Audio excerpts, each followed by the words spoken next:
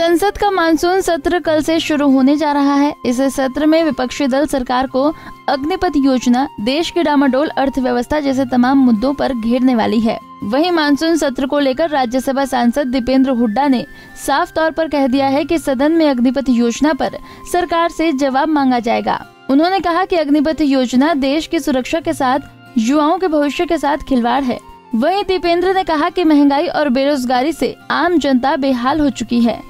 रुपया लगातार गिर रहा है। महँगाई के कारण लोगों का घर चलाना मुश्किल हो गया है। उन्होंने कहा कि कांग्रेस पार्टी हर मुद्दे पर आम जन के साथ है और उनकी आवाज़ बनकर संसद में सरकार से जवाब मांगेंगे। देश की संसद का सत्र, मानसून सत्र देश की संसद का कल से शुरू हो रहा है। जिसमें चार पाँच प्रमुख मुद्दे हम उठाने का काम करेंगे, राज्यसभा के अंदर उठाएँगे।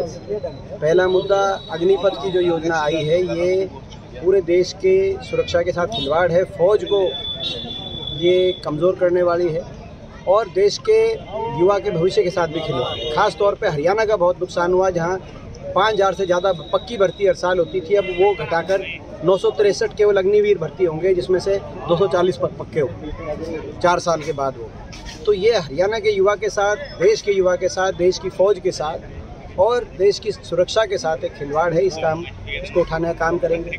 रिकॉर्ड स्तर पर महँगाई के सत्तर, पचहत्तर साल के रिकॉर्ड सारे टूट गए। पेट्रोल, डीजल इतना महँगा कभी नहीं हुआ। गैस का सिलेंडर एक हज़ार से ऊपर पहले कभी नहीं गया। तो महँगाई की बात, रुपए में जो गिरावट आई है और रिकॉर्ड बेरोजगार आई बेरोजगारी की, यानी कि अर्थव्यवस्था। आज डामाडोल दिख रही है देश की। वो बातें हम उठाने का काम करेंगे। वहीं दीपेंद्र हुड्डा ने किसानों का मुद्दा भी संसद में उठाने की बात कही है। उन्होंने कहा कि सरकार ने किसानों से एमएसपी पर कमेटी बनाने की बात कही थी, लेकिन आज तक कोई कमेटी नहीं बनाई गई। किसानों के साथ भी केंद्र सरकार ने धोखा किया है।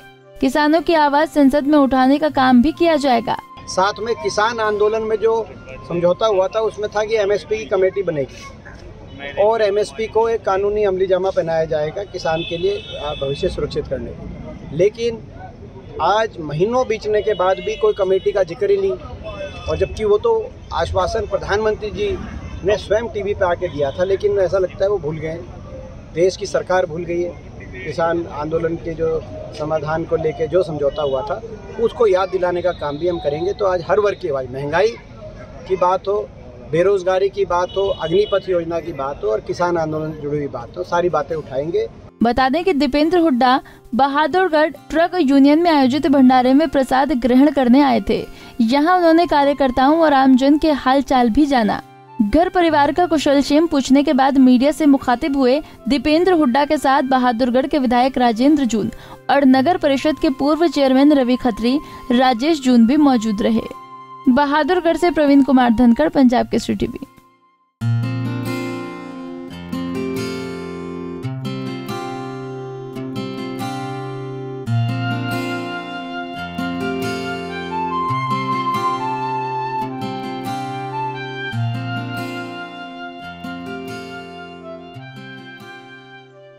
हमसे जुड़े रहने के लिए हमारे YouTube चैनल को सब्सक्राइब करें और नई वीडियो की नोटिफिकेशन के लिए बेल आइकॉन को दबाएँ।